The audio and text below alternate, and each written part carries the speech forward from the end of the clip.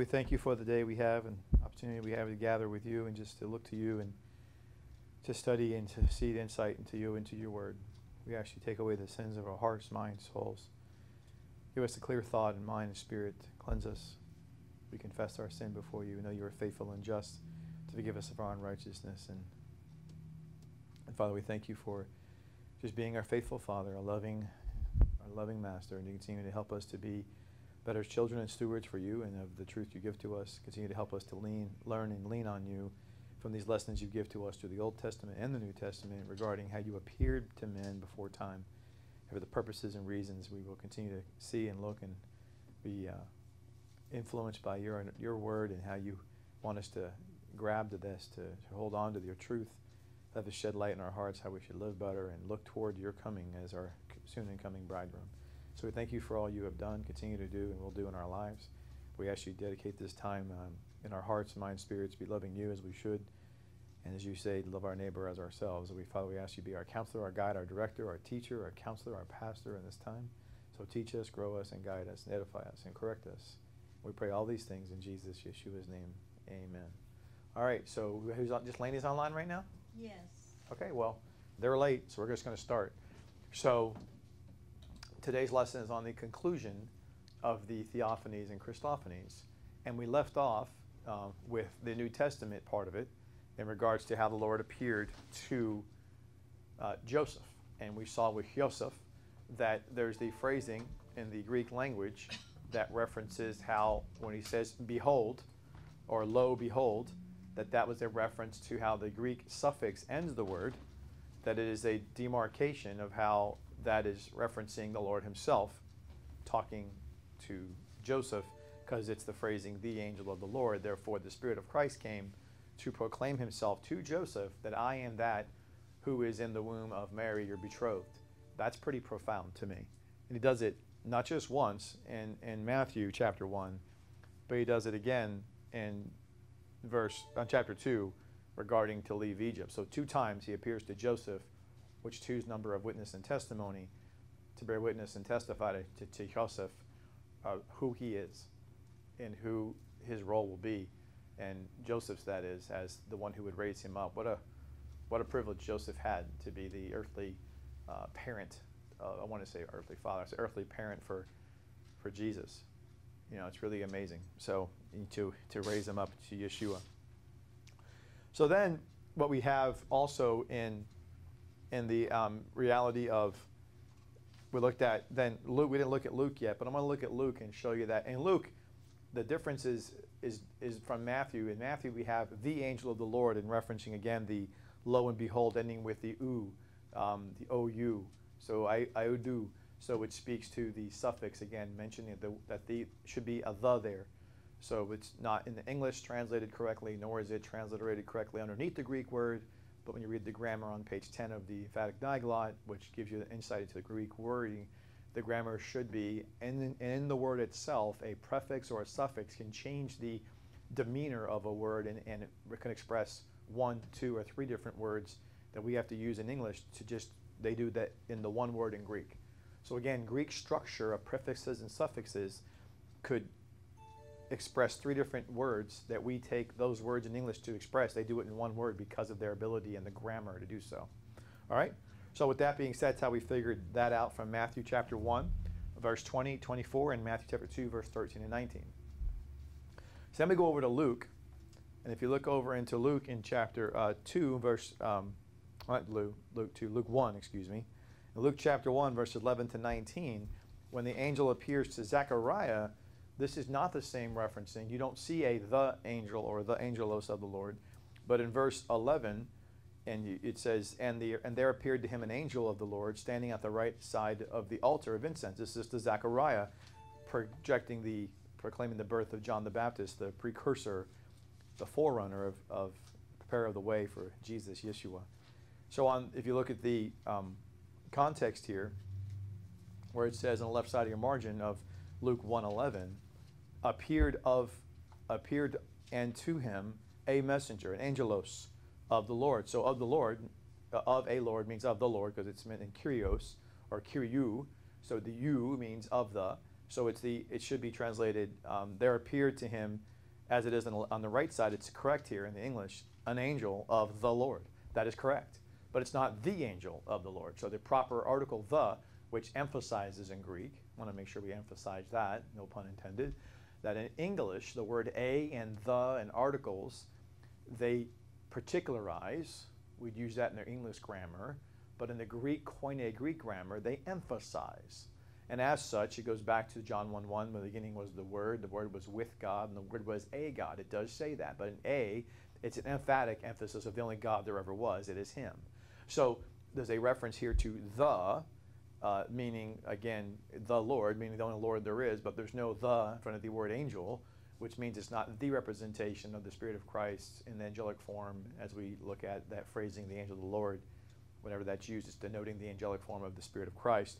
In this case, in Luke 1.11, we do not see the word the, the emphatic article, before the messenger or the angelos word. So, in this case, the angel appearing to Zechariah, also in verse 13, but it says the angel said to him. So in verse 13, you have here, it says the angel, that is true.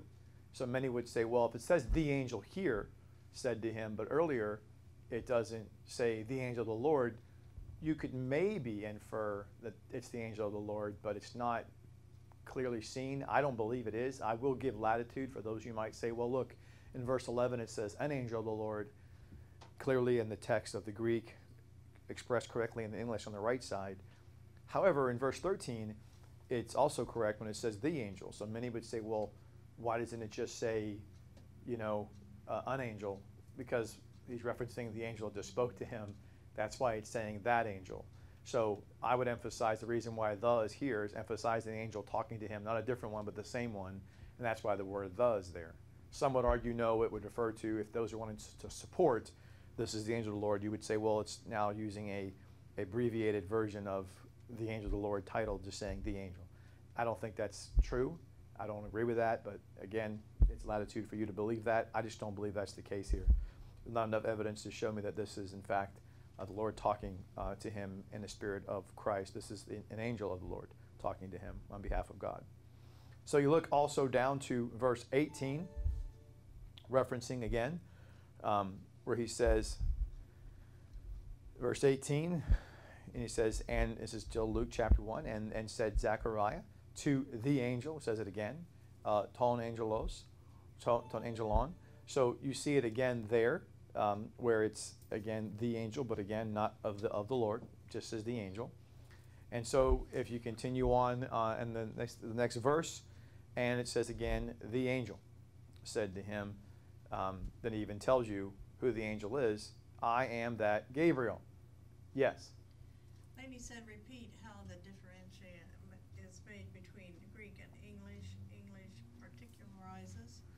English particularizes, or uh, English particularizes, and you say, I want a glass of water, I want uh, the, the shirt off the rack, you know, that kind of thing. We particularize. We're, we're particularly talking about that subject that follows the article. So if I want a glass, I'm particularizing that I want, you know, a glass of water, I want. But when, and when you're doing it in Greek, it emphasizes.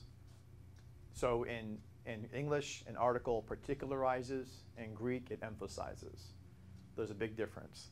So if you had a bunch of plastic cups in your house and you had one basic example I can give you, get a, plastic, a, a couple of plastic cups, tall Tupperware in your house, for example, but you had one glass cup in your house. And you said to me, Preston, do you want some water? And I said, I want a glass of water. Now, in English, that could just mean it doesn't really emphasize the glass per se. It's just saying, I want a glass of water. I want water and a, and a cup. It's an English rendering. I say, I, I mean glass is in a euphemism of saying, I want a pop. I want a soda. I'm not saying Pepsi, Coke, Dr. Pepper. I'm just saying a pop. So it's the same generalization. But here in the, in the Greek, when I say if I say I want a glass, what I'm saying in Greek is, you said to me, do you want something to drink? And I say, I want a glass. I'm saying the only glass you have that you and I both know is in your house, I want that glass, that glass with water. I want the glass, not the Tupperware. I want the glass of water. So I'm emphasizing, and you're going, okay, relax. So I'm like, I just don't like plastic. And all of a sudden, you, you know by me saying a glass, there's an emotional emphatic, niche, emphatic nature to that, even though in English you don't pick up on that when you read it. You're just saying, he said he wanted a glass. No, no, no, no, no, no. If you could hear him say it, he'd be saying a glass, or he'd be saying the glass. You know, he'd be more emphatic about it. So there's a tone that is that is imputed when an article is used in Koine Greek. The tone is raised. Most definitely. Whenever there's an article in Greek, in Koine Greek, it is, the, the tone is raised. So the content, remember, the content and the tone represents right about 45% of communication. The other 55% is in body language. Well, body language, when you're being emphatic and your tone is raised, is guess what? Animated. More so than usual, isn't it? You're not placid. You're not melancholy in your delivery. You're very much animated, more so than you would have been if you were not emphatic, right? So I would therefore emphasize to you that every time you see an article used by the Lord using a writer in the scripture, that writer, that, that, that writer who's writing from the author, God Himself, who's telling him what to write, their body language is being more animated. Their tone is being raised because they're being emphatic. And that's why in John, in Revelation, when he says, I want to take those who are with Jezebel and throw them in the bed, the bed, as we know in Job, is Hades. And so he's emphasizing the body language is more animated. The tone is raised because he's emphatic. Does that make sense? I hope. Answers your question, Lainey? She said, thanks. You got it. So in Luke 1, I was just taking through the journey of where it says the angel, and those who would say, well, the angel is a reference to the angel of the Lord. But I would say, nope. Here's an evidence where, because going back to the first mentioning in verse 11 of Luke 1, it's an angel, not the. And then he ends the, the coupling of these verses to prove to you that it's the angel Gabriel, he says so in verse 19. And he says that titling before he says that, he says, and the angel answering said to him, I am that Gabriel. Well, therefore, that concludes you cannot use the phrase the angel by itself to specify that that's Christ or the Spirit of Christ or the angel of the Lord, because the Gabriel just gave that title unto himself, and that's not the same thing. Because he's just saying, I'm that angel that's talking to you. He's emphasizing the one in the moment in the context. He's the angel, meaning the one who's speaking, the one who's in view, the one who's in context. Yes? And Lady had said yes to your answering her question. And Pam said, so where on the left in the Greek uh, will I find the word? And Said, so the Greek uses grammar instead of punctuation for the emphasis. Yeah, great, great. It's a, that's an awesome statement. That's correct. I, I never thought about that statement, but you're right. Greek uses grammar and punctuation, actually, because you'll see punctuation also um, in, in the transliteration, but you're correct. In the, in the Koine Greek itself, you're correct. It doesn't use punctuation, it uses the grammar to express punctuation. We use punctuate, punctuation, which is why sometimes in the, and the Hebrew, and the um, English rendering, you'll see an explanation point because they're trying to emphasize to you and me the, the grammatical text of that word. That's if you ever wondered why the word's capitalized or why it's punctuated. We use capital letters and we use punctuations. We use upper and lower case and punctuation to emphasize, and the Greek uses the grammar itself. It doesn't need those handicaps. It just, and the word itself can go, I, I can do better than that. I can express my how I feel, my punctuation. I can express my emphatic nature. I can express the position of the, the, the verb tense all within the one word. And, and English is going, whoa, excuse me. Well, Koine Greek is that much more superior to English, no doubt. So you wouldn't find Greek people, Koine Greek folks who, the language, you wouldn't have them call a parkway a driveway and a driveway a parkway, which is kind of crazy, right? Because in a driveway you park, and on a parkway you drive. It's kind of funny. Only in English can you have that kind of thing, right? Or say T-O-M-B, tomb, but C-O-M-B, coom? No, comb. See, only in English do we have ignorance like, like that. Doesn't make any sense to me, you know what I mean? But that's how we do things in English. Little Greek makes a lot of sense. It's just hard to, to, to follow it when you're not used to reading it and speaking it, obviously. But on the left side of your margin, to Pam's point, there is no, uh, when you look at there is no the. So in, in verse 11, um, it's, and you see in verse 11, appeared to him angel, angelos. There's no, uh, there's no the there. So it's just, it means an a angel or an, an angel. Um, there's no emphasis uh, to look to. If you're looking for the word a or an, there isn't one there. It's just because when there's nothing, no article in front of it, or just it may have sometimes an an in front of it.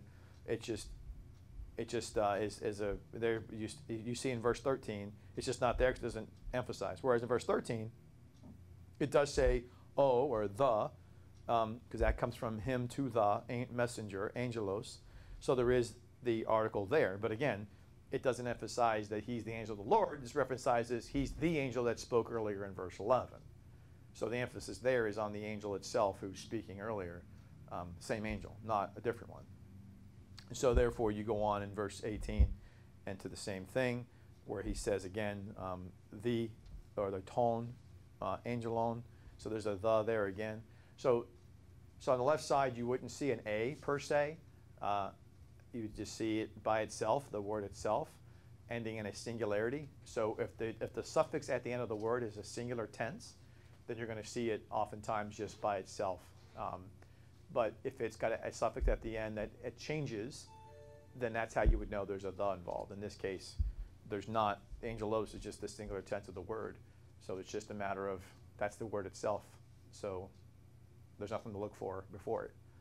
Except for when it's there, then you have to, to figure out, in this case, is the the there to emphasize the angel, or is there a titling of the angel of the Lord? In this case, there is no titling of that. We don't find that one time in Luke chapter 1. But it shows the consistency, to Brother Todd's point earlier, and last week when we said, wait, wait, wait, in the Old Testament we said the had to be there to emphasize the angel, and yet we said in Matthew's account when we talked to Joseph, Joseph, there was that the. Remember, the behold, the I do was there. It was hidden and veiled, but it's there in the Koine Greek. Not here in Luke chapter 1. Just the opposite. Gabriel even says to you, It's I, it is He. So that tells you there. So then if you go on to the book of Acts, let's do the book of Acts, how, how the Lord appears there and, and this mentioning of the angel. So I want to look, and I've crossed off on the board a couple of uh, things. I'm going to cross off to you a couple of things here. But in Acts 5 9, so this, whoops. I shouldn't do it like this, sorry. Um, how do I do this?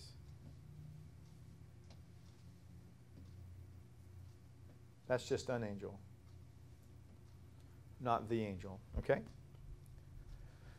All right, so in Acts chapter 5, verse 19, here's the first mentioning. And if you look here, and it says, but an angel of the Lord, Acts chapter 5, verse 19, left side of your margin, to Sister Pam's point again, there's no A in front, but in the actual English, it does render an A there. That's what's implied by the singularity. It's just an angel, um, uh, angelos, messenger, but of, of the Lord. But of the Lord is supposed to be there, which is translated correctly on the right, because the word kurios is in the um, excuse me, is in the is in the of the text of the grammar and from page 10, the OU, the U. So it, it does mean a messenger of the Lord. But again, it's not the angel of the Lord. So again, we know this angel, just like the one in Zechariah, is not in this case named, but many would say, well, is it Gabriel? Is it Michael? Is it the angel of the Lord?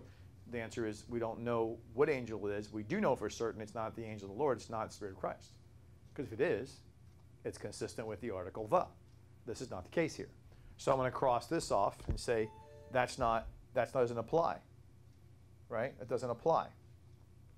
Then you go to on Acts 7:30 in Acts 7.30, interesting that Vic- Steve, what's that? Vicky has a question. Yes. She said, why if Zechariah was a prophet of the Lord, did he need an angel come speak to him? Is it because in the New Testament, God doesn't speak through prophets any longer?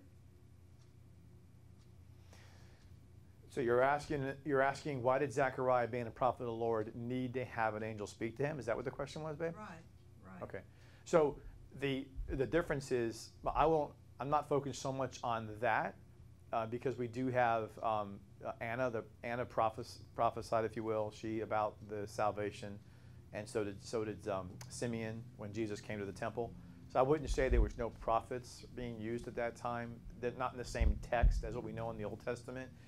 The New Testament's a, trick, a tricky process of a.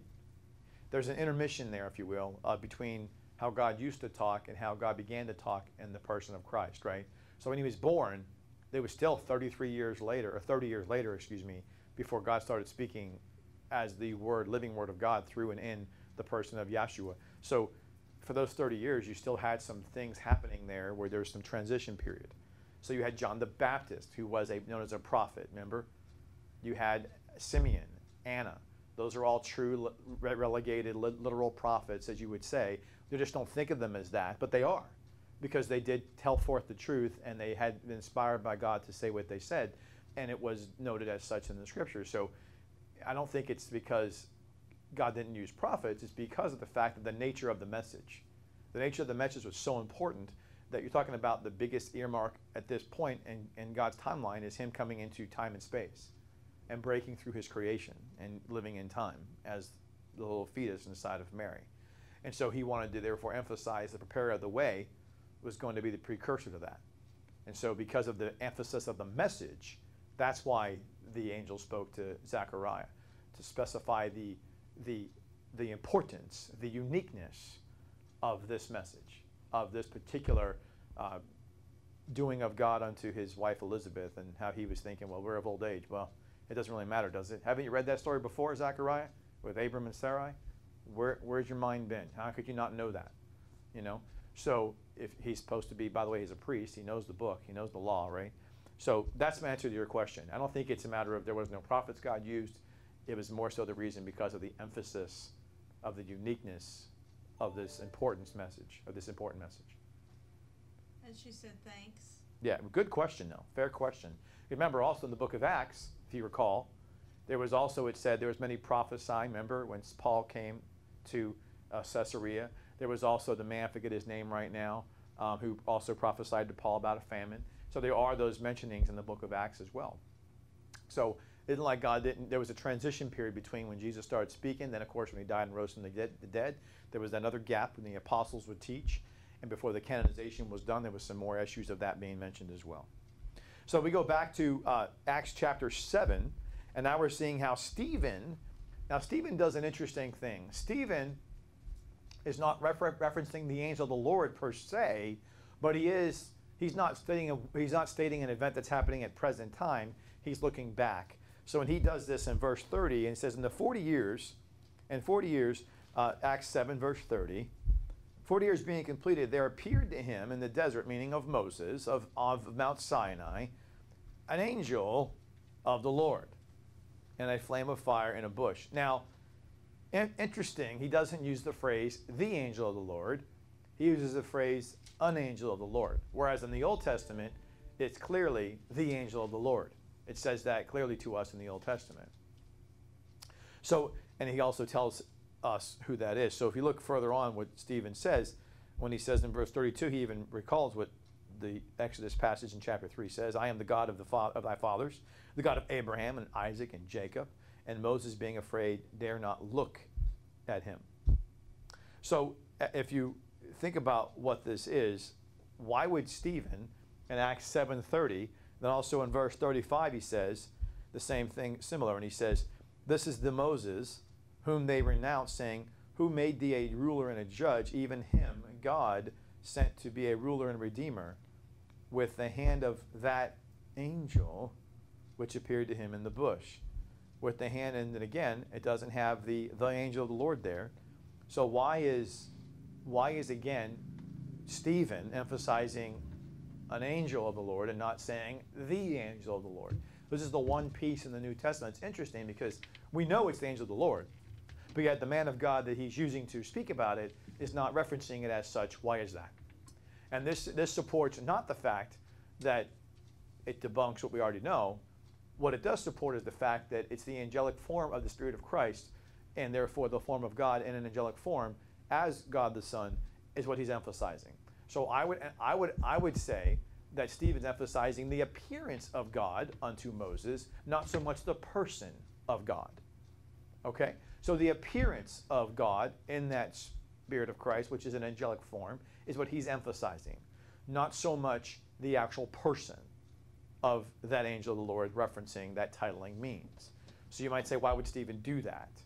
Because Stephen is talking to the Jewish people to remind them, because again, they don't realize who that is, now do they?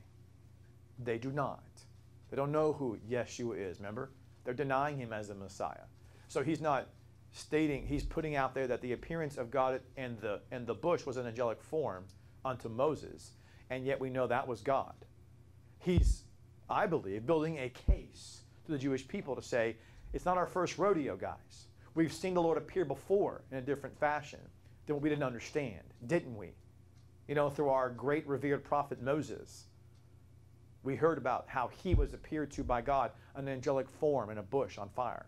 Did we not? So why is this a far stretch for you that God appeared to you as a man?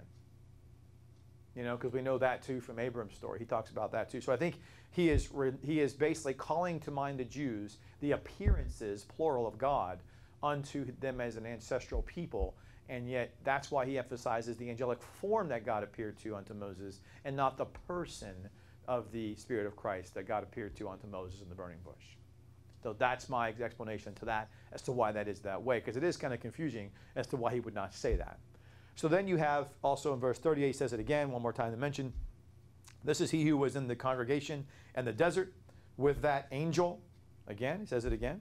Um, and with that angel, uh, with the angel, there he is, it says the angel, but we know that the angel does not necessarily mean the angel of the Lord, but in this context, I would say it does because he, there's no other mentioning of an angel. And he referenced earlier who the angel was in the Exodus passage he's recalling from, who spoke to him on Mount Sinai and with whom our fathers received living oracles to give us. So again, Stephen mentions that, but again, this is not this is not this is more of a reference looking back, but it's not a reference to the Spirit of God appearing. I'm crossing him off to let you know it's not a Spirit of God appearing. Um, the Spirit of Christ, I should say, appearing unto uh, Stephen at this. He's recalling what happened before. Okay? These are mentionings of where the phrasing is used. And then Acts 8.26. Let's look there.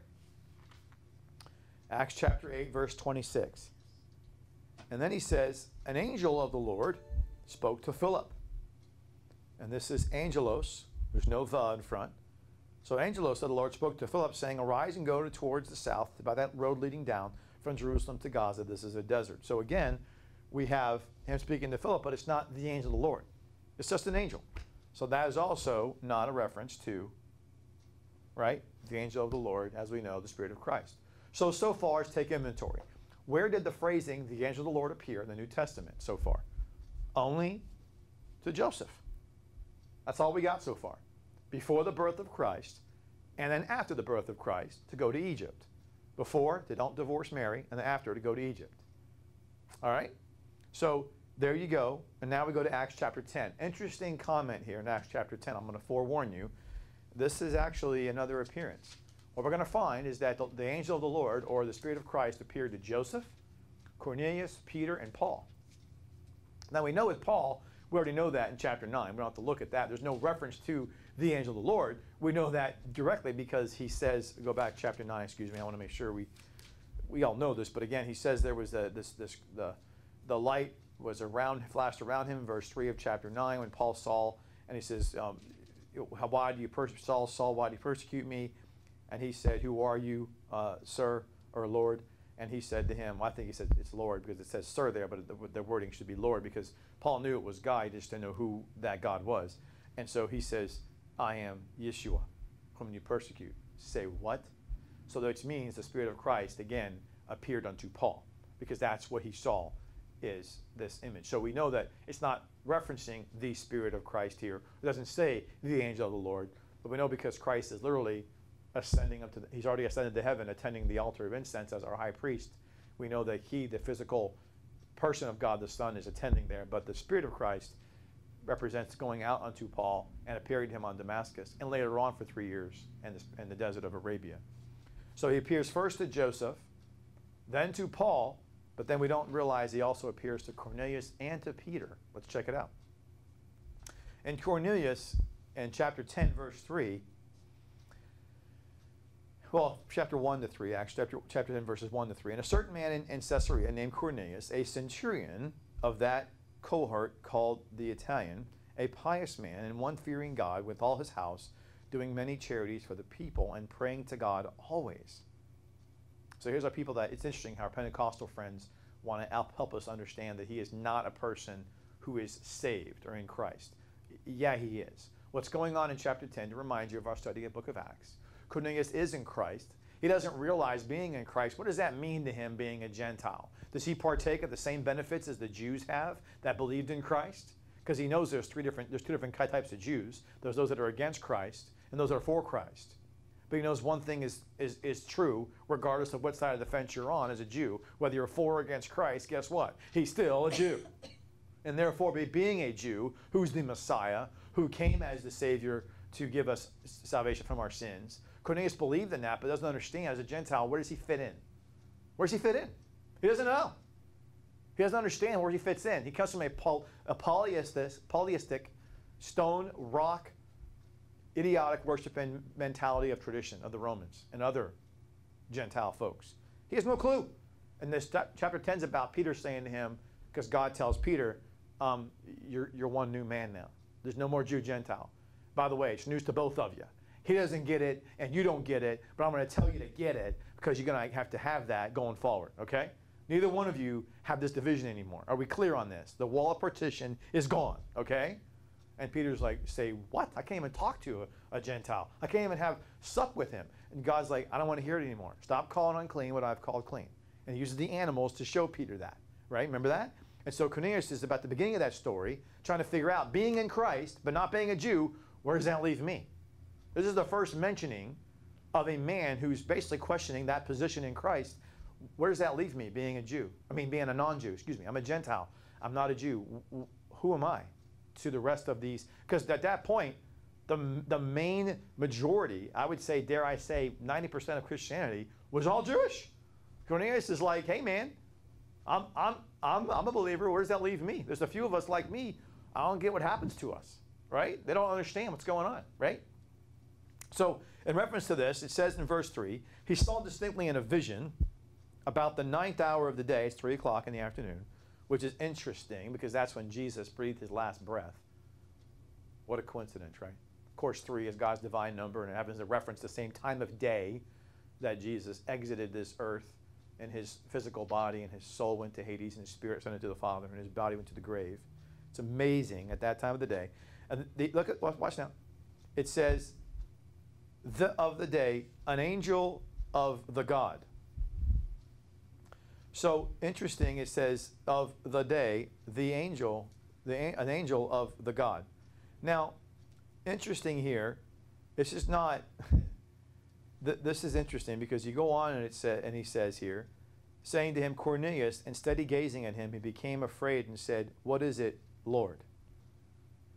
And he said to him, Thy prayers and thine alms went up as memorial before God. So I personally would say to you here that when Paul called the appearance Lord, which is what the word Lord or Sir can be translated either way, it's the context. Because Paul knew of a, of a true God, then he knew the appearance of, of lightning shining on about was God. He just didn't know, you know, what that God is. And so Jesus says, I'm Yeshua whom you persecute. Here, uh, you have a similar fashion where he's gazing at him, which means he was straining uh, and saying, uh, What is it? He's in somewhat of a fear and reverence. So I would tell you this is not some regular angel, which is why they're referencing where it says angel of the God. By the way, notice how the word of the on the left hand side of your margin, see where it says angelon of the God? So if you remember, so there's there's two different thes there. So if you go back, if you go back to page 10 in your Diaglott, you'll find on on this on where it says uh, ton. So see where where it says on the left side of your on, on your margin of of um, page 10 in your Diaglott under the singular uh, accusative tense. You see where it says ton, T-U-N, masculine, singular tense. T-O-N, right? So, and if you go back to Acts, again, how does this, how does this uh, phrasing take place? It says, angelon, angelon, which means the angel, right? That's what it's supposed to mean. The angel of the God. So we see the angel of the God here, but it's kind of veiled because the grammar, once again, doesn't show it to you in the actual separate words. The fact that angelon is in that text, it means the angel. So we've seen that before already, we already saw, but by itself really doesn't mean it's the same thing, but now it's followed by of the God. Oh, wait a second. That's different. Right? Just like the angel of the Lord. But here's the question. Remember in the Old Testament, we saw that God also used the phrase the angel of Elohim, of God, but to focus on his deity as Elohim. Same, same spirit of, of Christ, but not focusing on his authority, rather his deity. That's why he uses the phrase Elohim. So why would he use this phrase, the angel of the God, here to Cornelius instead of the angel of the Lord? It's the only time, by the way, in the New Testament where this phrasing is used. It's not a coincidence, by the way. You know why it's used, if you think about it. And so do I. You know why. Cornelius definitely knew. It was God saying to him, that, and the Spirit of Christ saying to him, I am the God of the Gentiles too. He's like, Really? Yes, really. That is crazy. For a Roman to hear that the God of the Israelites, the God who was always anti Gentile, if you will, because they got the kingdoms were annihilated, destroyed, decimated, people mass killed if you weren't Jewish. Now that same God is going, You're with me. It's hard to believe. Think about that. Cornelius is going, Really? He said, Yes, really.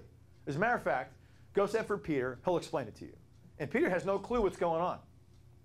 God didn't school Peter before he told Cornelius that. He schools Peter after that. Just to show you so much for free will, huh? Peter had no clue.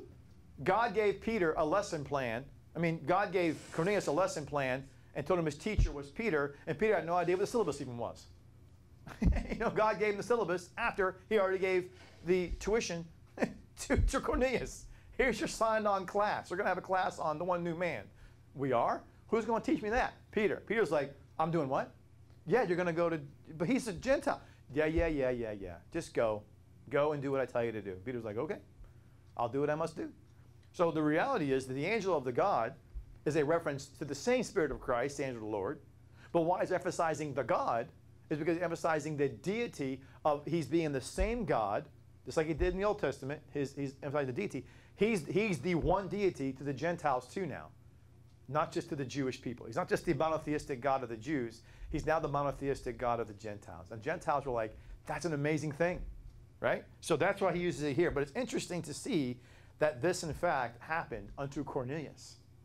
Interesting. But I would therefore say to you that he's the second time we see God revealing himself as the Spirit of Christ unto a person in the New Testament. First, we see Joseph. The purpose of that made common sense to me. He was pronouncing his salvation as a, he was, he was, I'm the Savior. But now he's saying, oh, by the way, I'm the unifier. I'm the one who makes the one new man unto Cornelius. But he says it in a different way, too. He changes his title to the angel of the God. Is there any questions or comments? Yes. Todd, excuse me. Todd said, it seems that you have shown us many examples of an angel of the Lord, that it was Jesus later today. Do you have verses that point to an actual angel? Yeah, we just saw some earlier. We saw earlier in Acts 5:19 that was an angel, and we're about we're, we're going to see that that was an angel in Acts in Acts 5:19. Remember, we saw that. So in Acts 5:19, to go back to remind you, that was just a regular angel that by night opened the doors of the prison and bringing them out said, "Go and stand and speak in the temple." Well, that was to talking to Peter and John. That's the regular angel. To He your said- point. He said, I missed that. That's all right. That's all right. That's a regular angel there. And no doubt. And also, of course, we have the angels at the resurrection tomb. Regular angels. No doubt about that, right? The angels at the ascension in the book of Acts, chapter 2. The angels that were there at the ascension. Why do you gaze upwardly? This two men that stood by. Those are angels there, regular, regular guys. And of course, we saw in Luke 1, you know, by name is Gabriel. Um, but you probably, you probably mean not named. Uh, so not named would be the resurrection angels, the ascension angels, and then the angel uh, in Acts 5 who freed Peter and John from the jail. So you do have ref- references there, to your point. There's another reference in, in the book of Acts later on when the angel appears to Paul, if you recall, on the boat being shipwrecked and saying, I assure you, the soul's on board and you will not die. And reminding Paul of his promise beforehand, he'd make it to, to that place in his ministry, which is out ahead, which means he can't die now. So if there's references there to help you, that's what you were asking me for. The, the, there you go. Yes.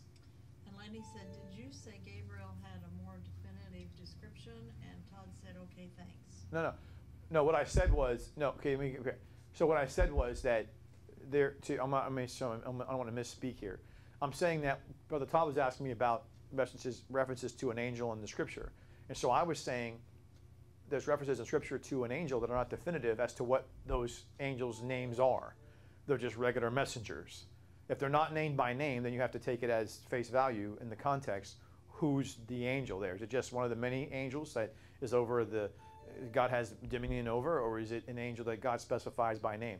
So I'm just saying that Gabriel and Michael, only two we know of by name that God specifies on the good side. On the bad side, of course, we have the anointed cherub that covereth, who becomes Satan in the, in the tribulation period. Yes. And Lainey said, okay, and Or- Pam said, how do we know when angels deliver messages to us today? you don't, remember? In Hebrews it says we are entertain angels unawares. So you don't know. You don't know that. It says we entertain angels unawares. So angels do deliver messages today. Now, God speaks to us in these latter days through his son, right? But he has other moments where angels deliver us messages through people. So I do that's what's really freaky to me. There's some people that you've met in your life that I think are both ways. You go, what do you mean both ways? I believe you met people. This is going to sound freaky when you hear me say this, but please don't get all freaked out when I say this. So I'm saying that there's people in your life that you have met that aren't real people, that are angelics, people appearing as men, but there are also people that are real people that are possessed by demons that are also that are buffet you, and both are true. The ang- angelic people actually don't. They, they, they just manifest as a person that doesn't exist. That person you'll never see again. That person's visage was just a form of that angel's appearance. Whereas a demon will actually possess a real person and actually, or influence, one of the two, possess or influence, and then be a buffer to you. And I, I, I tell you, I saw this timeline in the Bema Seat. God's going to show us, oh, by the way, remember Sally and Susie and Harry? Those are the ones possessed by demons or influenced by demons. You're like, oh my gosh. I, I didn't, I, I kind of thought that one, had no clue about those two. And then over here, he's going to say, look at these slew of angels that came alongside you, that those weren't real people. They just appeared as people. You're going to be like, what? Yeah, yeah, yeah. That many times? Yep, sure enough. You're like, that's amazing. So, or you're going to see maybe they were there when they didn't even appear in physical form and they helped you uh, through something that you didn't know. They, they're the ones that caused a noise to happen or a sound uh, or, vision, or, or, or you thought you saw something to make you turn a certain way to avoid hardship or a hazard of a danger unto you, stuff like that. So there's going to be angels that are visible and invisible in your life. You're going to learn later on that kept you from out of harm. I believe that whole my heart. Yes, sorry, yes. Uh, back, this is more than forty years ago when I was in Australia. I was trying to catch a bus, I think it was the last bus out of the city to get back to the university. And I was having trouble with the possessions I had trying to get there and get on, and then it seemed like this older woman, almost looked like from another century, out of nowhere helped me get my bags on the bus. I just thought, I have a feeling this is not a real person. And I was just still looking at this, this, thinking it might like be an angel or whatever, thinking, I'm so sorry I'm a pain. Ah, it's so funny. You're funny. You're funny. You didn't think it was real. About online, babe? Who else do you got? And Lady said, so the angels recognize angels in the unseen world. Good recognize the bad because they fight right. Oh yeah, yeah. I mean, I, I could tell you, for example, for me, there was definitely an angel involved when I was in my pre. I call it my PJ days before prior to Jesus. In my PJ days, not pajamas. I was asleep though, right? So I believed in the God of covenant, but I just didn't believe in. Re- I didn't, Repeat what you just said. Lainey had a, has a. in my PJ days prior to Jesus, I was in my days where I, I was driving a my citation of my dad's citation, mm. and I was looking down for a cassette tape, and I went like this, on the road, and all I heard was, and I looked off, and there was a bunch of tree limbs coming at me, and I'm like, oh my god, and I was just like freaked out, like I couldn't. All around me was green, and the next thing I know, boom, a big tree in front of me, and I had hit the hit the windshield, um, but not full force. I had a seatbelt on, but you know, just the jerk of that. But then I couldn't get out. The, I was wedged in a ditch. Both doors, there was dirt on the window. Like if I was sitting down, it was eye level dirt. All I'm like, oh my gosh. and I had no idea how I could get out of there. And so I had to pop the hatch and then and then kind of crawl out the back and and go that way. That was crazy. And then I saw how I went into the ravine. It was like this, and my car was like this. So how did I not go like that? It was like this, and it went in smooth. Like come on. And even the tow truck guy goes, "How in the blazes did you go on an edge like that and stay straight? How'd you stay flat? Especially when I was going this way." I was doing this, looking for a cassette tape. So therefore, the wheel would have been more so tended to me to flip over, which means I'd have been trapped and I'd have probably died. If you're wondering, well, no one would have seen me. No, no, you don't understand. When I stood on the roof of the car, the, the, the street was still above my head. Okay? so I was just in my teenage years. I was fully grown. I was six feet tall, roughly, right? Todd, Todd always says I'm not really six feet. Okay, five eleven and a half, whatever, right? So I'm right at almost six feet, almost six feet, right? I'm on top of the car. The car is what off the ground? What four or five feet maybe? It's 12 feet down. I'm te- the, the the road was above my head. So who's and there's gra- and there's these and there's this like there's not really a uh, there's a little bit of a veer off you could probably see from the road, but not really because all this greenery is in the way. It's like a big a big like wilderness of greenery. So I mean, I, I, you couldn't see the roof of the car. You couldn't even see me unless you're looking, I guess, down. You have to really be paying attention. I don't think you really see that. And it wasn't on a major freeway. It was on a side road. Uh, a, a side road on this back country way to get to, to our house as a cut through I did to get to work. So it didn't like it was a major traveled road. It didn't like you're going, you know, to not a, the good line of sight wasn't there to see that. It was on a curve, on a turn. So unless you're really paying attention, you really get God's, you know, God's benefit to you to look over that way, you probably wouldn't have seen me. If I was upside down in there, who knows? I probably would have, you know, who knows what happened to me. The, the guy said I should have died. So I think at that point, the angel, God used an angel, I just left the you know, car to stay straight. Or God himself did it. I don't know. I just know that it, it's a freaky example of how my life could have been over with and totally different, you know? Yeah.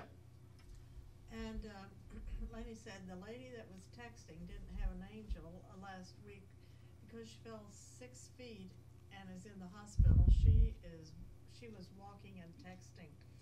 I had a similar experience with a semi truck. She said, and Vicky said, I think God's hand or angels protected me and Dave during our car accident in Georgia in 2012. Pam said I have a story like that too. And they said, we are evidence that Yeah. they were there to protect us. Yeah, we all have that. I, I one other story I'll tell you that's crazy insane is when we were in Texas and, and I was getting tired. So I was driving really fast to get to the hotel late at night. I had to spend the night to go to these um, places to visit that are like a good three hours from the house. So I had to be there, you know, in the morning and all that kind of stuff, right? So, so I'm hauling butt down this country road because back in Texas it's 70 miles an hour, but I was going like 80, and I was just flying down this country road, this two-lane road where there's a bunch of farms, uh, uh, farm, cattle, ranch type people, right? All I remember is I saw cows, cow, cow, cow, cow, cow, cow, cow, cow, cow. I don't know, maybe 20, 30 of them in the road. When I look back, all I, I saw them in the road. All I remember doing was I was like, I went ah, and I went like this. That's it, and I hit nothing. Impossible. And a Chevy Astro van on a two-lane road covered with cows, I didn't hit one. Yeah, right. And they were and they were a good six feet apart all over the road. I look back and I'm like, no way, no way. And and it's, it's and I was going 80, hitting a cow at that speed. You know, I'm gonna probably, but that means certain death probably because your car's going to be flipped in the air. I'd imagine. I mean, so I'm just saying, there's many things that we can all go through stories, but I would say that there's definitely been angels around your life, my life, to get us to where we are, to protect us from harm's way, no doubt. Yes. Vicky said it does blow your mind. Oh, it, it, it just does. I mean, I, I mean, I don't focus on stories like that as a way to, to, to build my, my faith or to uh, exhibit. I don't even to to, my, to that point. How many times have I mentioned that to you guys? Hardly ever, because it's it's something I remember, but it's not something I want to hold out there as the reason why I believe in the Lord. That's not why I believe. I believe because what's in the book. That's why I emphasize the book over the experience. That's why my friends who say, you don't know what it's like to have an experience. Well, I do. I've had experiences that are pretty profound, that are life changing literally. Okay? And so I, I've had them. Okay? So don't act like I'm just some doofus that I don't appreciate God's uh, in my life interaction. I just appreciate the Word of God more because those are infrequent. This is frequent. okay? This is every day. That's every once in a while. Yes. Lady said, hope they get paid well as they work really hard in my life. it's funny. said- Pam said, you'd have been visiting all four stomachs yeah, I know, right? yeah. Or, or, even though this fellow wasn't an angel of the Lord, I, it was somebody I sorely needed in a certain circumstance. I was getting ready to move over here. Well, I'm not didn't have it yet. I was getting ready to come over here for the all important interview to get the job in at the college and uh, car trouble. I didn't know exactly I was having, and one of my students that it was in a class where I taught a bunch of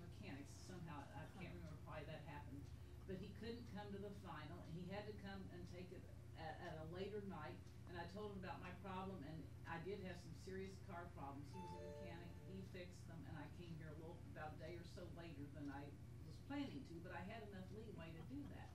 Oh my heavens, I mean, if that fellow was the one that had to take his final later, and in the interim, I, I, I knew I was having a car problem. He happened to be the one that fixed you. That's pretty crazy, right?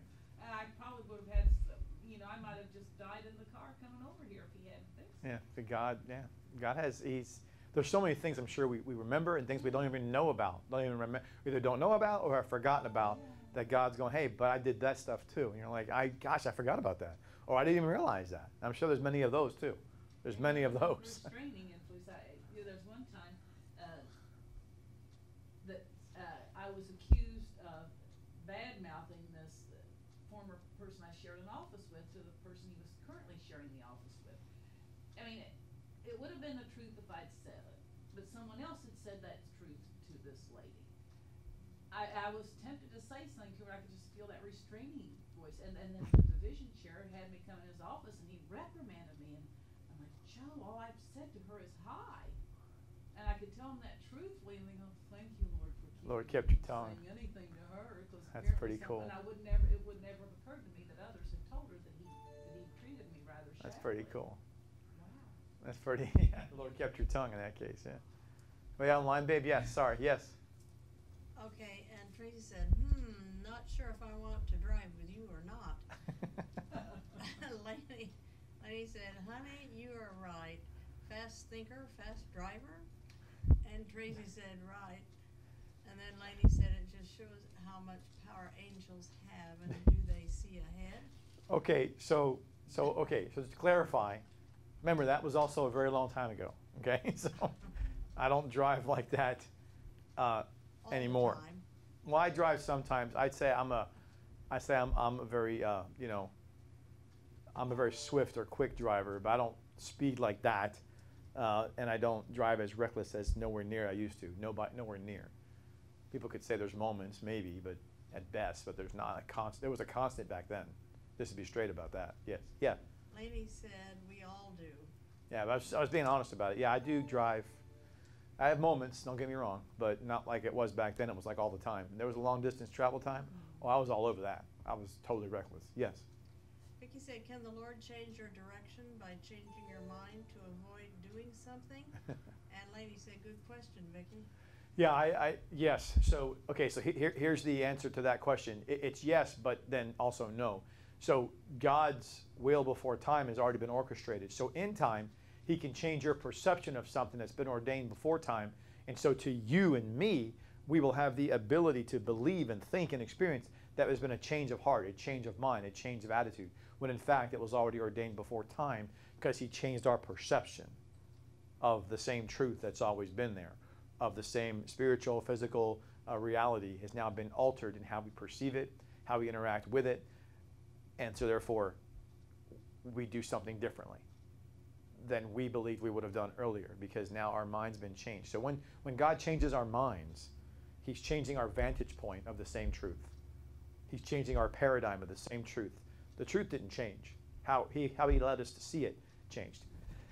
And he gave us the belief that we had something to do with that, or in fact that he moved it when actually he didn't. He just moved, he just moved our thoughts and how we see it. Yes. Vicky said, so when Dave and I decided not to go skiing at Vail the year, the day the tram fell, that was preordained. Absolutely. So God moved your thoughts. to think that way, but the tram was going to fall either way. You weren't going to go either way. But because he moved your thoughts to think about that, you see it differently as if you had something to do with that decision when it actually was God all along. But he moved your thoughts to think that. So in time, there was a collaboratory aspect of how we experience God's will. When he changes our minds, it's collaboratory. He gives us the privilege of tapping into his will that's already been ordained to give us this sense of, wow, we were a part of that thought that he already had. We didn't, we didn't create the thought, it was his thought. He just put it in our mind at that time let us be touched by him to say, oh, by the way, I'm including you, giving you a heads up that I'm going to save you from hardship. You're like, what are you talking about? Until after it happens, like, oh my gosh, now I know why we didn't go. So that, that's what that is. Yes. And uh, Lainey said, when was that, Vicky? I always think about that when I change my trips on the plane. Vicky said, long ago, before nineteen seventy-five, Pretty cool, man. maybe nineteen seventy-six. It's pretty cool. That's why, interesting enough, whenever I have, whenever we leave town for a long trip vacation, I always pay all the bills I possibly can for that month um, that I'm aware of. I don't forget about because I'm always thinking, what if I'm, you know, drop dead Fred on the way there? I don't get back, so I want the people to be paid. I always do that because I don't know, you know. Anyway, that's the that's kind of sounds morbid, but all right. So now we go to um, going back to so we saw Acts 10:3. That was Cornelius in Acts uh, 10:22. we we see again. Lainey said, I always empty all my trash cans before I leave, huh? we see again that you're funny. Yeah. So in Acts 10 22, back to Cornelius and the angel of God appearing to him, because of the name difference here, he's emphasizing the deity of Christ as the same God over the Gentiles as well as the Jews. As now he's their monotheistic deity. So here in verse 22, he continues on this referencing with Cornelius, and he said, And they said, Cornelius, a centurion, a righteous man, and one fearing God and esteemed by all the um, nation of the Jews and he says was divinely instructed by a holy angel um, i should say of the ethnos of the jews because remember there's jews that were also proselytes that's why the ethnos of the jews is there.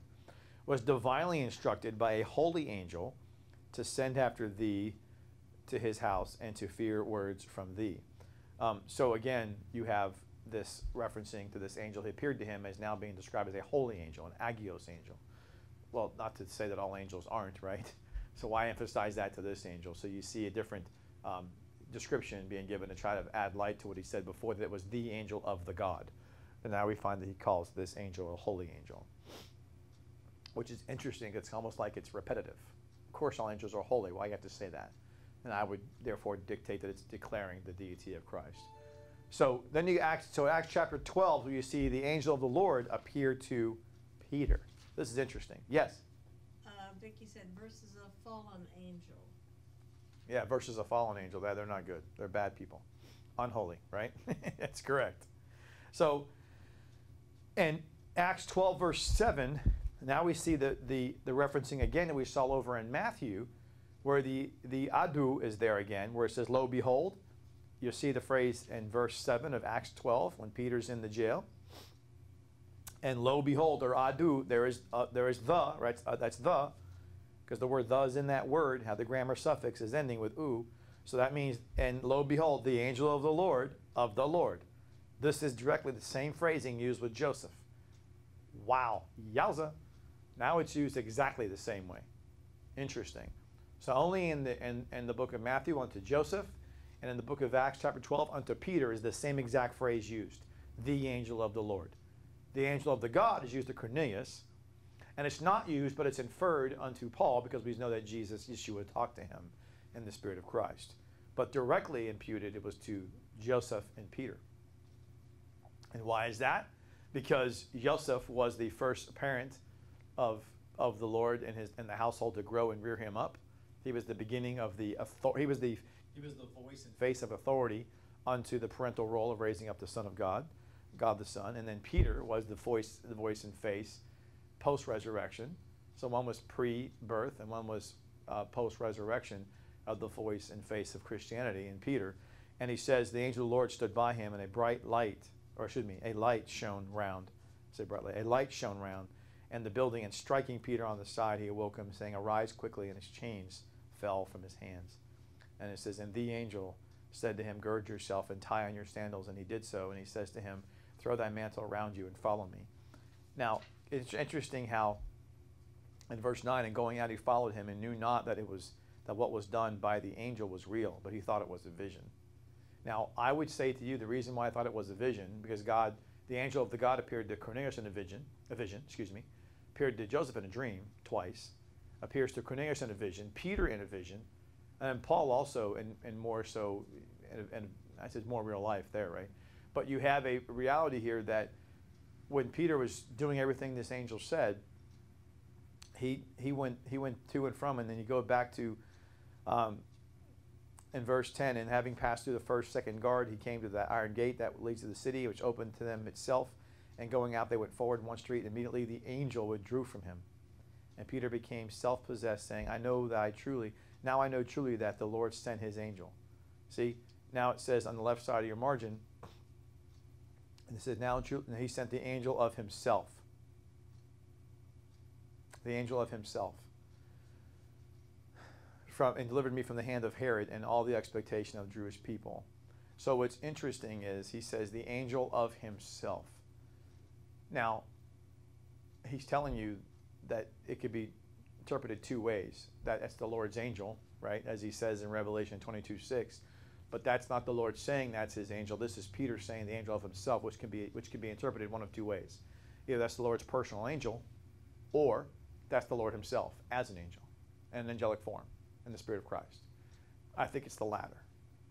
Because Peter is the one commenting on what he experienced, not so much Christ in Revelation 22 16, when we saw him say, the angel of, of himself, of me. When he says that about himself, that's different. Then it's clearly his angel.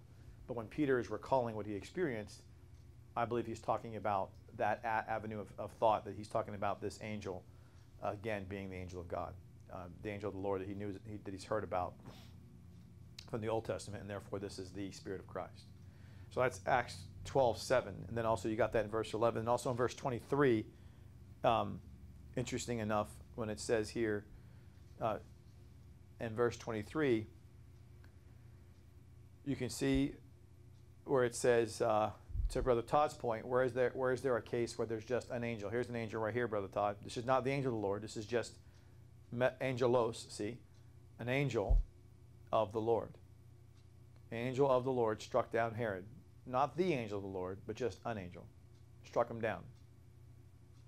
So you have there reference to, rep- you mentioned before, so you have angels in the, the resurrection, you have angels in the regular jail cell in Acts 5, you have angels at the ascension, you have an angel here, um, also striking down Herod. You're going to find one later on in the book of Acts appearing with Paul on the ship. Yes?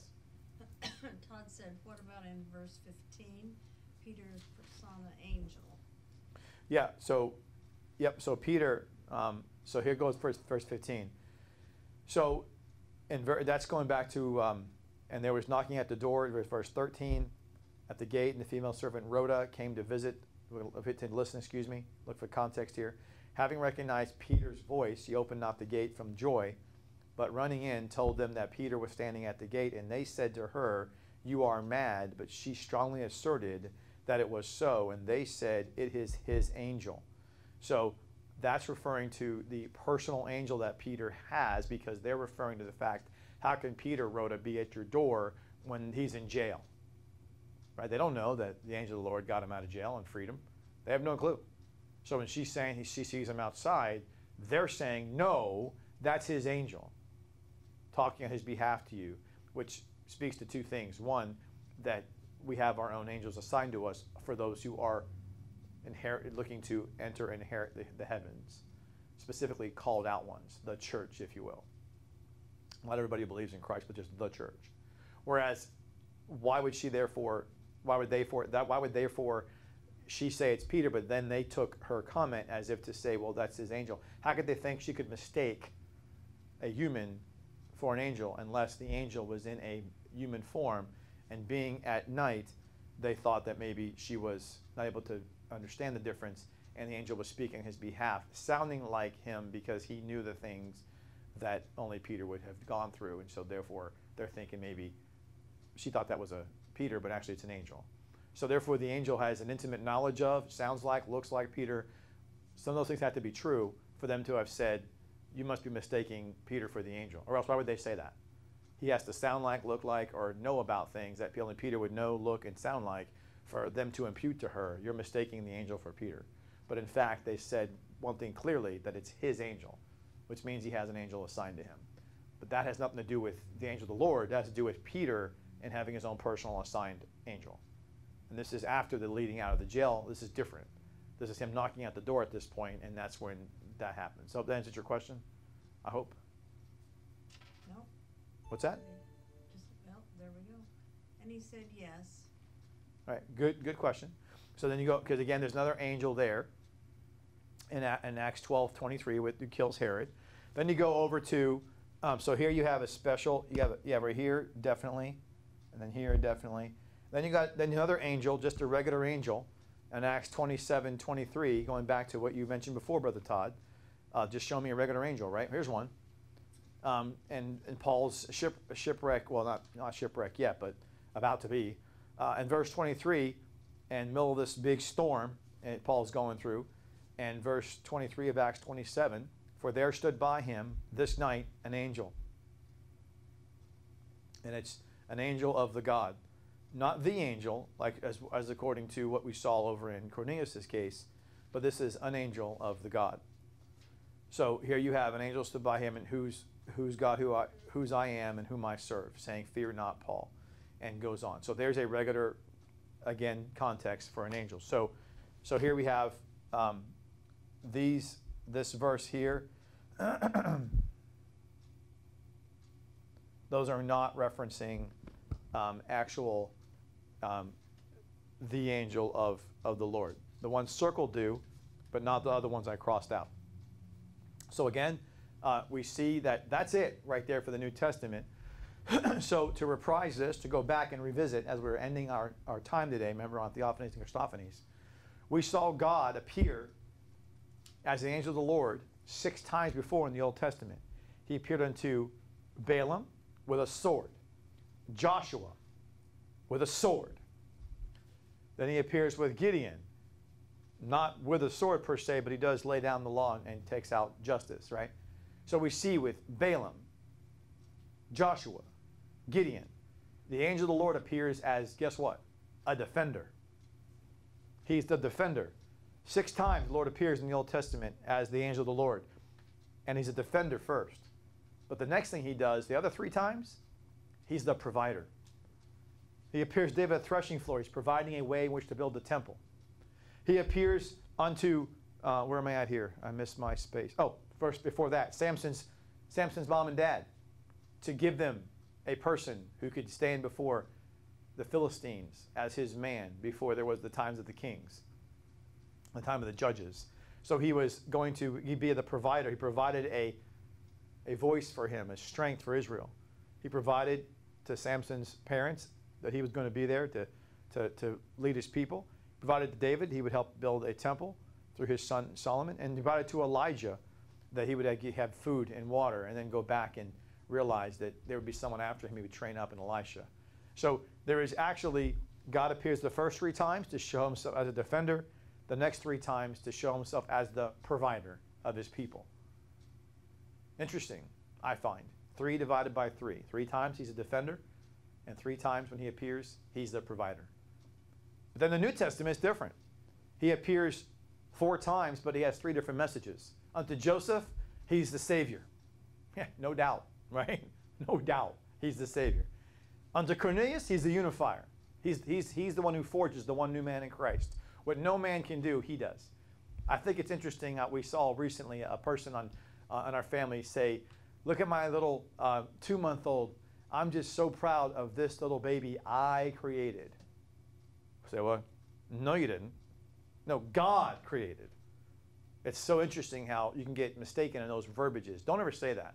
As a woman, I'm not a woman, obviously, but as a woman who gives birth, I know you're proud and I know you're loving and I know you're endearing unto your child. But don't ever say, I created. Because no, you did not. Do not say that. It is a total fallacy of, of verbiage. Don't say it. And those who do, please correct them lovingly and let them know it's God's creation in you. Okay? It is not, you didn't create anything.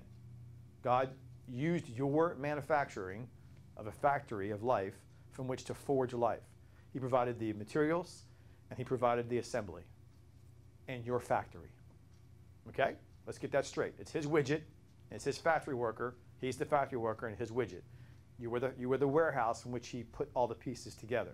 You did not create anything. Get that real, okay? Yes.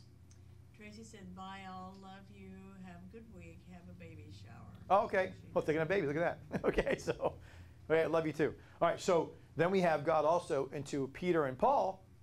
He appeared as a, as a deliverer because he delivered Peter from jail cell and he delivered Paul from his life of persecution uh, as the Pharisee of Pharisees on the Jewish people, and his life of murderous killing for two years. So he delivered both of them from their from their situation. One Peter from um, being about to near death, and then from Herod, Peter even says so, and then from Paul a life of just shamelessness. So in ignorance, right? So he's a defender and provider in the Old Testament when he appears as the angel of the Lord. And he's the Savior, he's the unifier, and he's a deliverer when he appears that way in the New Testament. I think it's just interesting to me how he chooses to emphasize that reality of who he is in those occurrences when he appeared. So also look back on the other side of the board over here. I mentioned the Lord has this, we haven't looked at this yet. The Lord has this personal angel. All right? So, in these passages here, you're gonna, have to look there, but these are passages where, where the people use the uh, angel of God reference to speak of a king or of a man. Say, you're as like an angel of God. So it shows you that you can see that messaging come across that the word angelos is used to represent not just an angel or the angel, but also how man can portray or can can be embodying the will of God in, in their life. And so people go, wow. Yes. And Vicky said, who are the three defender people? I'm sorry. God presents himself as a defender to Balaam, Joshua, and Gideon. And then he presents himself as a provider to Samson's parents, King David, and the prophet Elijah. Okay? As you said, thanks. You got it. So then, then on the left side of your margin over here, we didn't look at this. I, I put the Lord has this personal angel, and we put some um, things in it, but I crossed off the ones that were not accurate. But we're going to see the other ones. This is where we're going to end for our, our message. So go to Genesis 24 7. Genesis 24 7. You'll see some interesting comments here about the Lord saying his angel, that he has a personal angel. Going back to what Jesus said, Yeshua said in, in Revelation 22 16. So again, Genesis 24 7. Now watch this now. The Lord God, Genesis 24 7, the Lord God, Chave Elohim of the heavens, which took me from my father's house and from the land of my kindred, which is Abraham talking, Abraham talking, right? And which he spoke unto me, and, and that swear unto me, saying, Unto thy seed I will give this land. He shall send his angel before you, and shall take care, and shall take a wife unto my son from thence. Send his angel? What you mean? It's a reference to a personal angel. Interesting. Look at verse 40, Genesis 27. And he said unto me, The Lord, before whom I walk, will send his angel with thee and prosper thy way, and thou shalt take a wife for my son. So twice he tells Eleazar that the Lord has a distinct angel of him.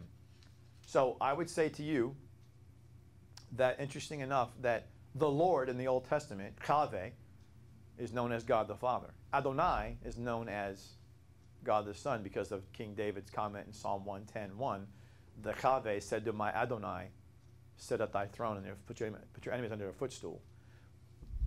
Well, if that's the case, well then therefore Chave in this context of the Old Testament, even though we know that is the embodiment of the authority that was given over to the Son in the New, which then he takes on the name Chave as well. But in the Old Testament, Chave was distinctly for God the Father. And if that's the case, then therefore God the Father and God the Son have their own personal angel. Interesting, is it not? Which one was God the Father, the seven or the forty? Both of them are God the Father.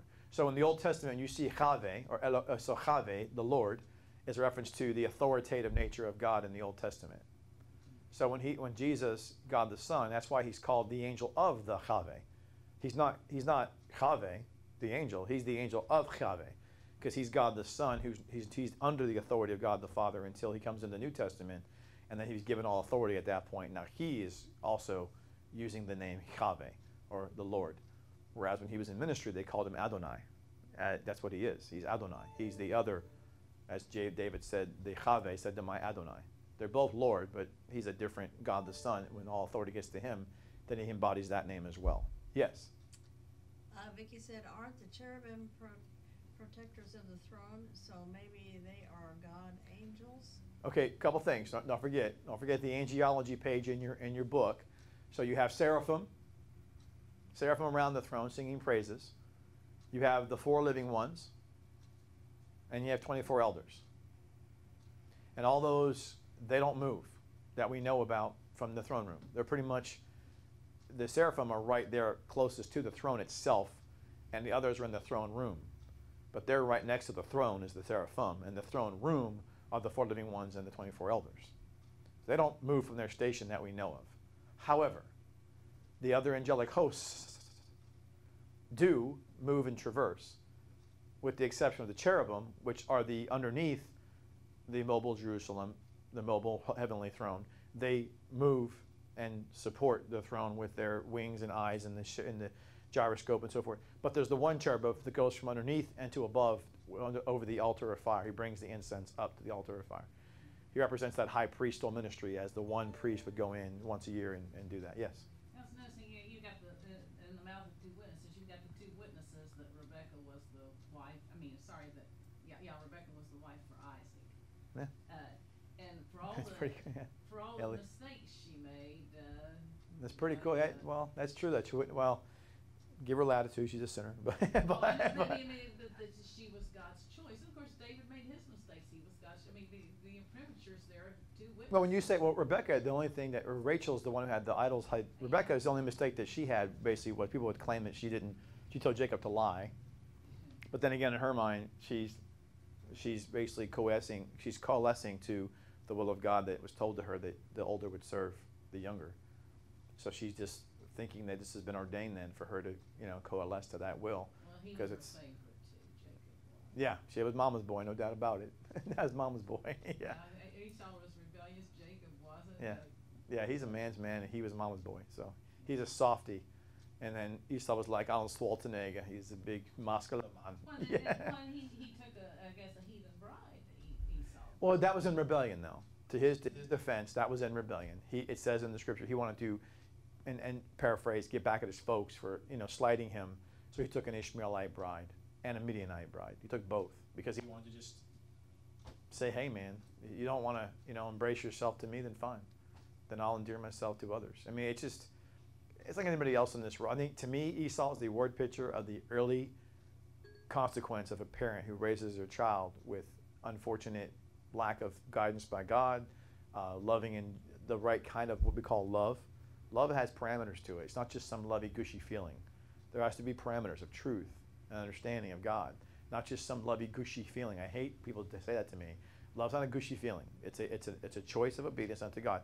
So if you don't teach your kids the right way and love them the way God says to, which is with truth and with conviction, having tough conversations sometimes, then therefore, and they will at times, not every time, but oftentimes, they will rebel and marry somebody that is anti God, that is anti spiritual for their life, as just their way of rebellion against you, the parent.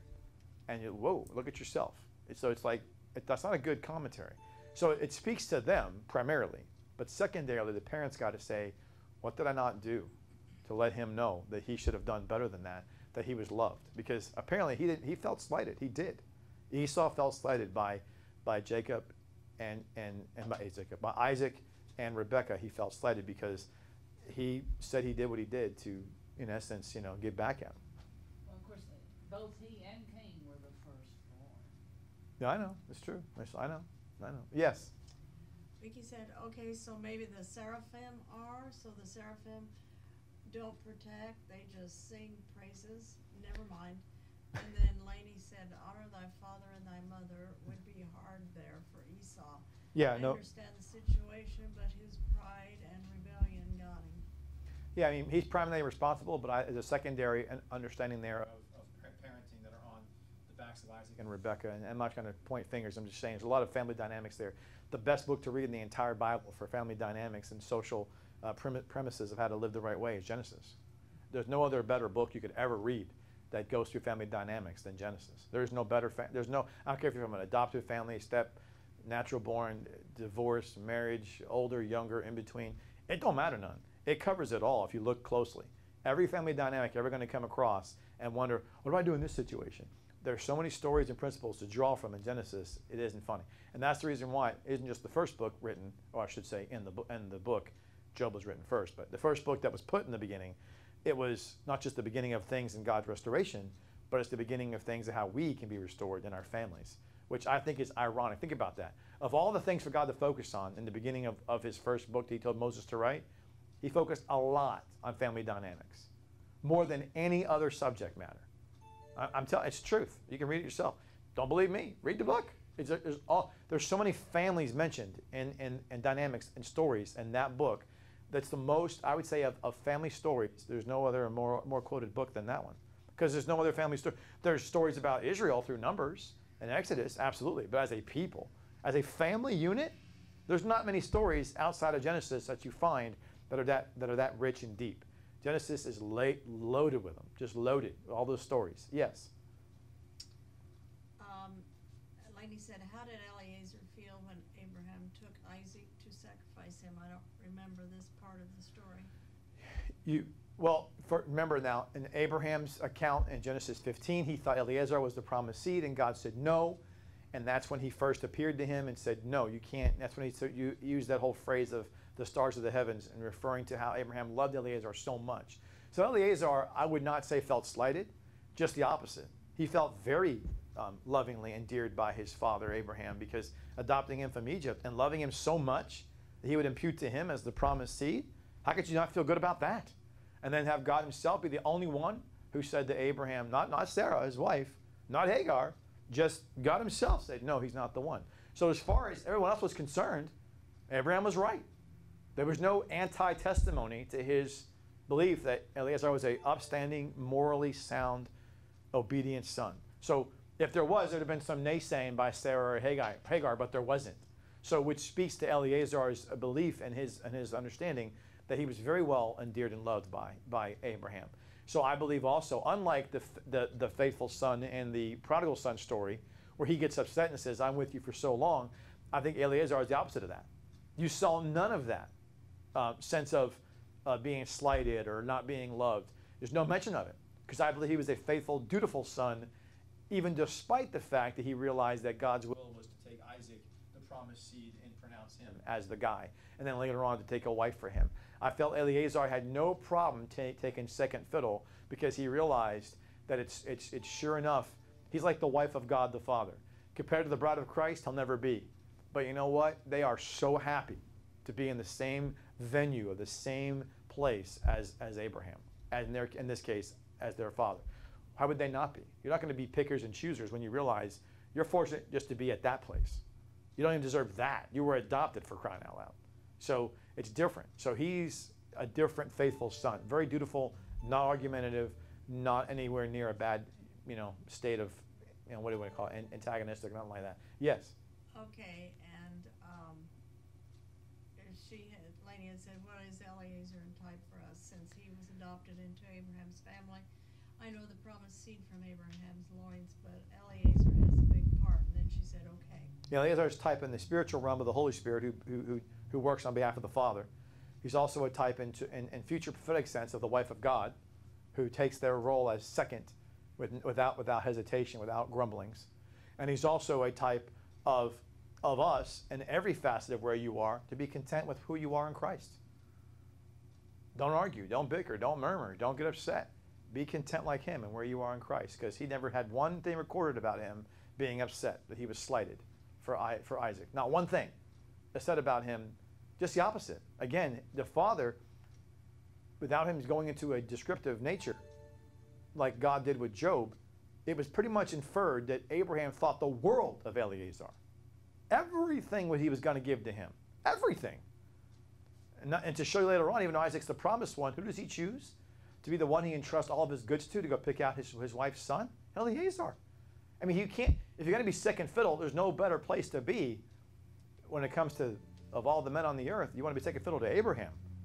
Of all the men lived in that time, there's nobody you want to be second fiddle to than him. I mean, I don't care if I'm, Isaac's ahead of me.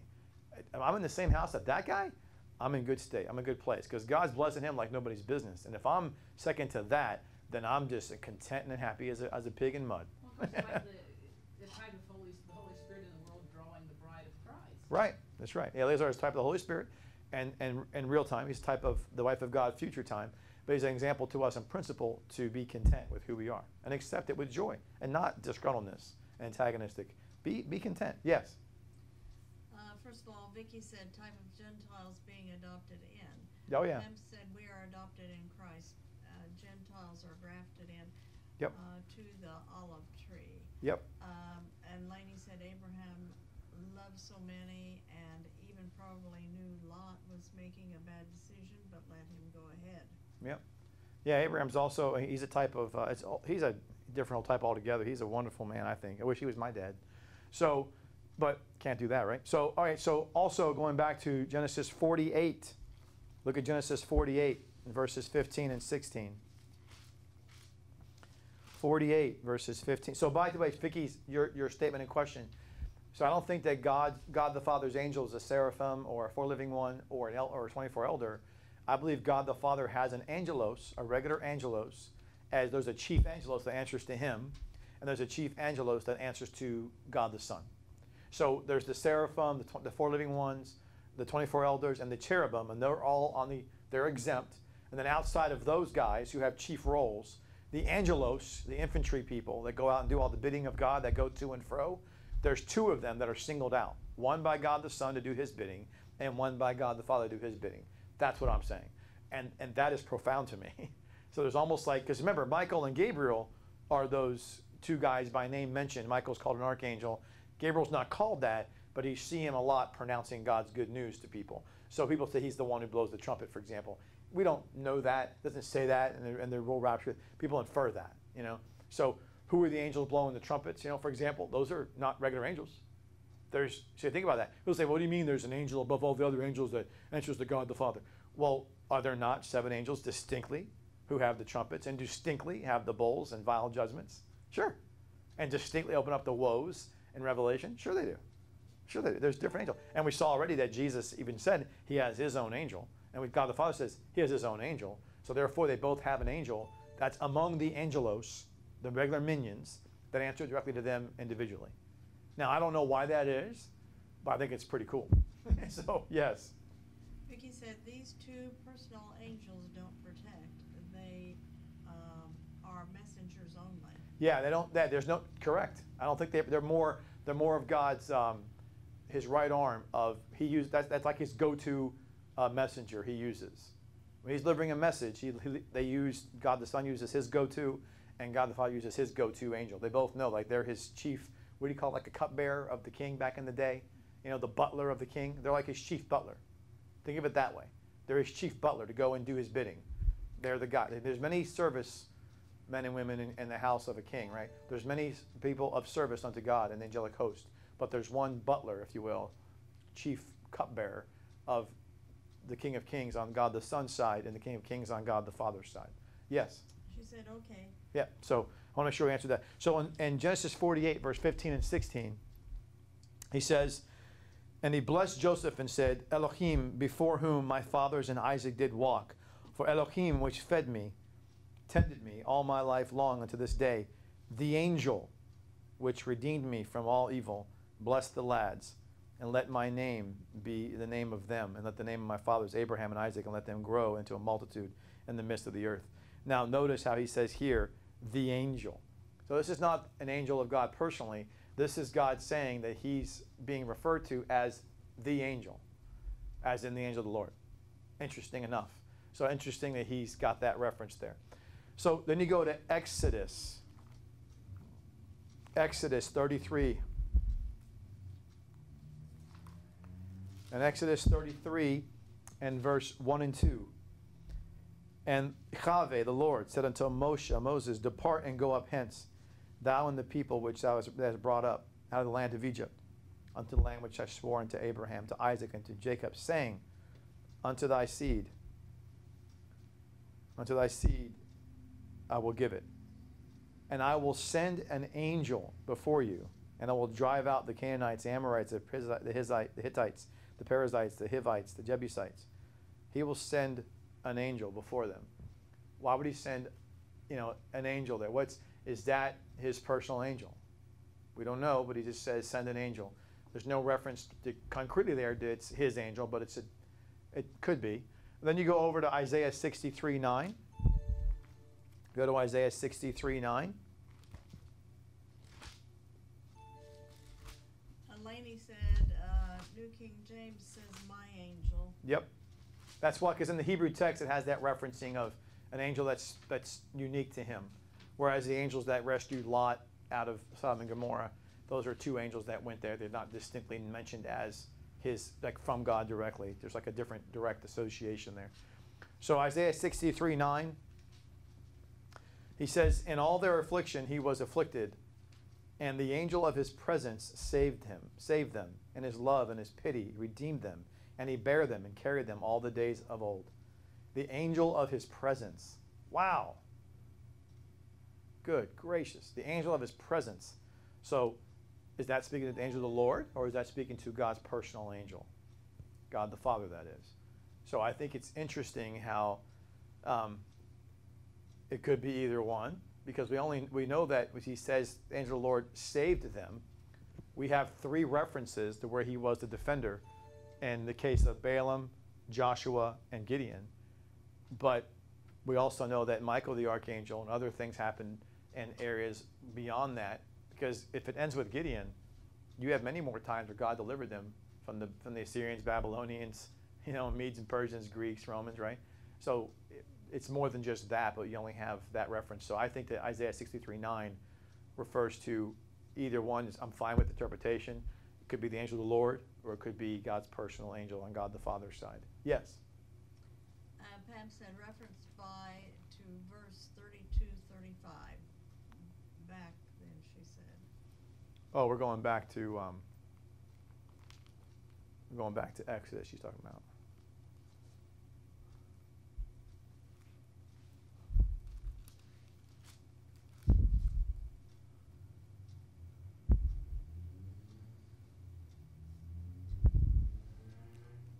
Okay, I'm not sure which one you're talking about, but it's okay. So, so if you go to Daniel 6:22, go there. Let me show you there because we're running close short of the. And Daniel 6:22 or 6:21 actually for context. Then Daniel in the lion's den unto the king, O king, live forever. My God Elah has sent his angel.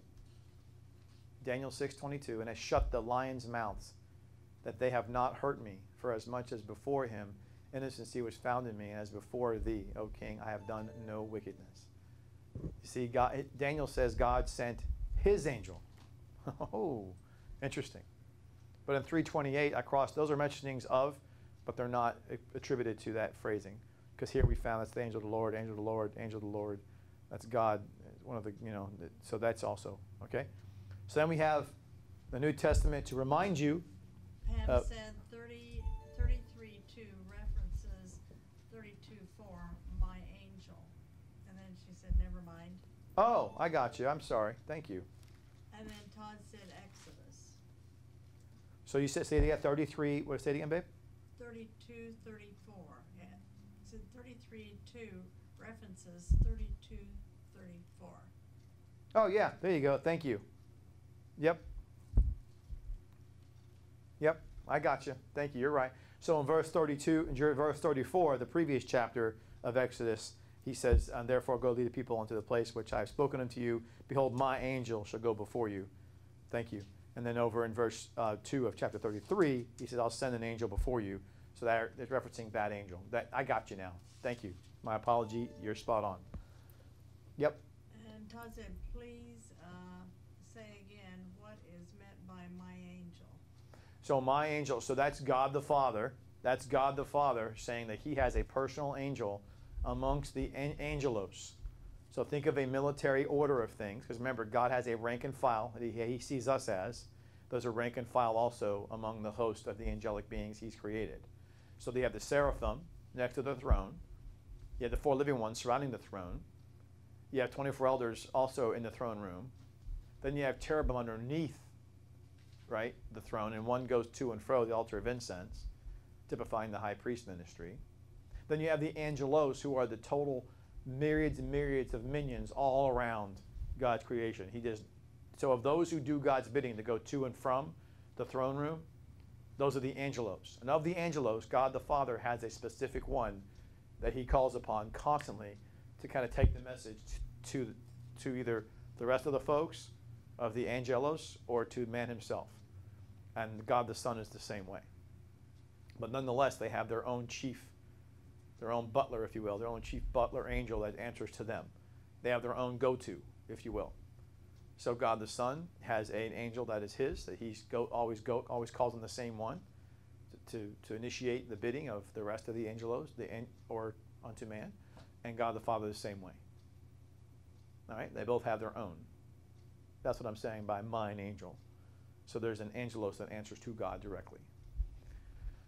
So when you, when now many would say that it's Michael the archangel. I'm not saying I say that. Many would say it's Michael the archangel on God the Father's side, and many say it's Gabriel on God the Son's side because those are the two associated with names in the Bible, and therefore they say Michael because of his uh, strength to, um, you know, fight for Israel. That's why you see him on God the Father's side, and they say Gabriel because he announced the birth of Christ to Mary that he's on the God the Son's side. That could be. That could be. I don't know that for a fact, though. I have no problem with hearing that. I just don't want to say that that's completely the belief system. But I don't have any problem with that being true, because if it is true, it wouldn't surprise me that Michael the Archangel is the chief angel on God the Father's side, and Gabriel's the chief angel on God the Son's side. Maybe so. Yes. So you wonder, does that mean Lucifer was originally for God the Holy Spirit? He's the only other named angel we know. Yeah, yeah, I know. I know. But here's the thing: He's not called Lucifer until he fall. He's called the anointed cherub that covereth. He's called Lucifer when he's cast out of heaven unto the earth in the Antichrist and the beast.